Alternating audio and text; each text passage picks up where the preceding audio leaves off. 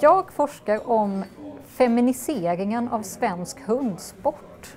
Alltså om hur eh, svensk hundsport i början av 1900-talet, från 1940-talet, så är det nästan bara män som tränar hundar. De få kvinnor som finns, de står och kokar kaffe i bakgrunden. Och idag så är eh, 70 procent av alla medlemmar i Brukshundklubben i Sverige kvinnor. Eh, och kvinnor syns på ett helt annat sätt. Så att någonting har hänt under de här 70 åren som Svenska Brukshundklubben har funnits. Ja, alltså det är ju ett sätt för mig eh, att faktiskt kombinera två fenomen som jag tycker är väldigt kul. Och det ena är historia och det andra är hundar.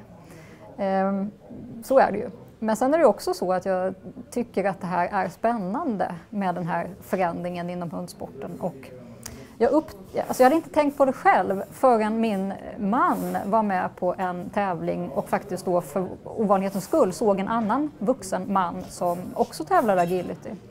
Och då sa min man, men herregud, det är ju en vuxen kar, varför håller han på med hundar? Och där blev det någonstans för mig väldigt tydligt att någonting jättestort har hänt. För på 1940-talet så hade man inte sagt så. Då hade det varit självklart att det var en karl som tränade hundar. Och kvinnorna hade varit, oj, titta en tjej. Så.